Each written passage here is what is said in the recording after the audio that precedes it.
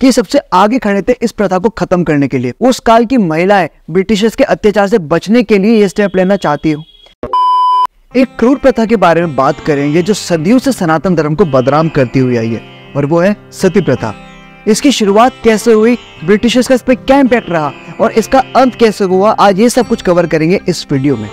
आगे बढ़ने से पहले कहना चाहूँगा, अगर आप पहली बार मेरे चैनल पर आए तो सब्सक्राइब ज़रूर कर लीजिएगा। क्योंकि आपका एक सेकंड काफ़ी है हमारी मेहनत सफल करने के लिए। लोग सोचते हैं कि सती प्रथा की शुरुआत जब देवी सती ने अग्नि स्नान लिया था भगवान शिव के अपमान के लिए वहाँ से हुई। परंतु कोई भी महिला सती तब होती है जब उसका पति मर जाता है और उधर भगवान शिव जीवित थे जब देवी सती ने खुद को अग्नि में समर्पित किया था। इसलिए सबसे पहले यही बताना चाहूँगा कि सनातन धर्म में कभी सती प्रथा थी ही नहीं। केवल जो महिला चाहती थी कि मुझे सती होना है वह स्वेच्छा से सती हुआ करती थी, परंतु उसका मतलब ये भी नहीं था कि आग में बैठ जाओ। इसका अर्थ हुआ करता था कि वह वैराग्य लेकर के किसी मंदिर में रहा करती थी। इसके कुछ उदाहरण मैं आपको दे देता हूँ। सनातन धर्म में चार वेद है और चारों ही वेदों में सती का कोई भी उल्लेख नहीं आता है। हाँ ऋग्वेदिक ज़िक्र ज़रूर आता है कि पत्नी अपने पति की मृत्यु के बाद उसके शरीर के साथ जल जाना चाहती थी, परंतु उसे ऐसा करने से रोका गया था और उसे बोला गया कि तुम नया जीवन शुरू करो। रामायण काल में भी ऐसा कुछ सुनने को नहीं मिलता। यदि अगर ऐसा होता तो दशरथ जी के मर जाने के बाद तीनों ही रानियाँ उनके साथ सती हो जाती, परंतु ऐसा नहीं हुआ। महाभारत काल की चलिए बात करते हैं। पूरे महाभारत में केवल दो ही जगह ऐसा सुनने को मिलता है, जहाँ पहला केस है कि राजा पांडु की पहली पत्नी माद्री उनके साथ सती हो जाती है, परंतु दूसरी कुंती पूरे जीवन को विधवा के तौर पर बिताती है।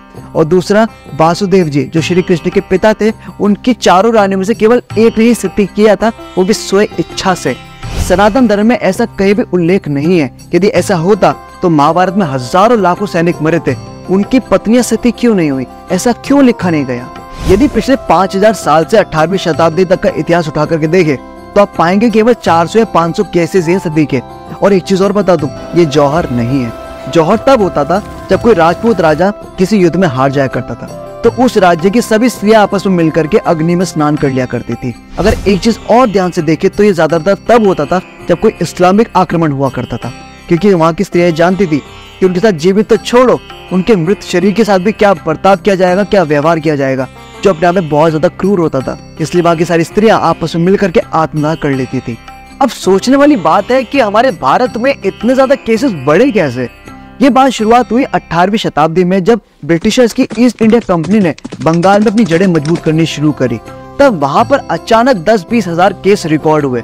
अब सोचने वाली बात यहाँ पर यह है कि जिस देश के इतिहास में केसेस पाँच सौ हुए थे, वहाँ दस बीस हज़ार केस कैसे?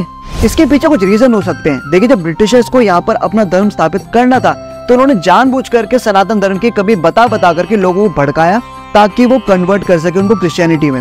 या फिर उस काल की महिलाएँ ब्रिटिशर्स के अत्याचार से बचने के लिए ये स्टेप लेना चाहती हो। या फिर ये भी हो सकता है कि ब्रिटिशर्स के अंदर जो हमारे हिंदुस्तान की आर्मी फौज थी, उन्होंने उनके मृत्यु के बाद उनकी पत्नियों को भी उनके साथ जलाना शुरू कर दिया हो।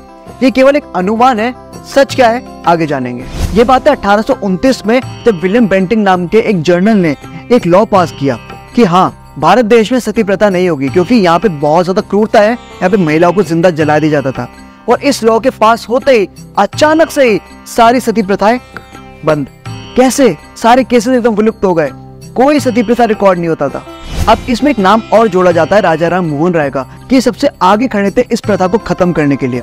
परंतु अगर आप इनकी किताबें पढ़े, इनके कोर्ट्स पढ़े तो आपको समझ आ जाएगा कि तो खुद सनातन संस्कृति के विरुद्ध थे। ये संस्कृत भाषा को बेकार बताते थे, ये मूर्ति पूजा के विरुद्ध थे, ये हिंदू के भी खिलाफ खड़े हुए।